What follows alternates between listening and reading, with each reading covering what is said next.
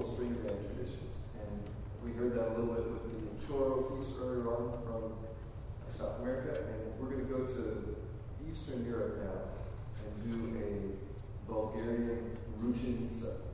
And there are different orchestras over there called Domra orchestras, different kinds of plucked instruments.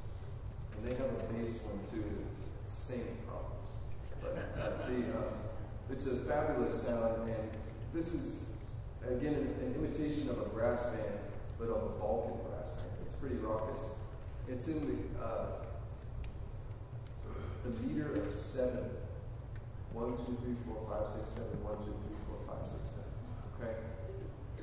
Don't, I mean, try counting, but don't get, don't hold your breath.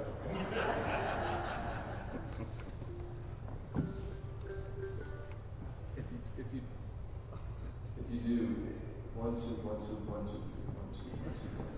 Okay, that'll, right, that, that helps.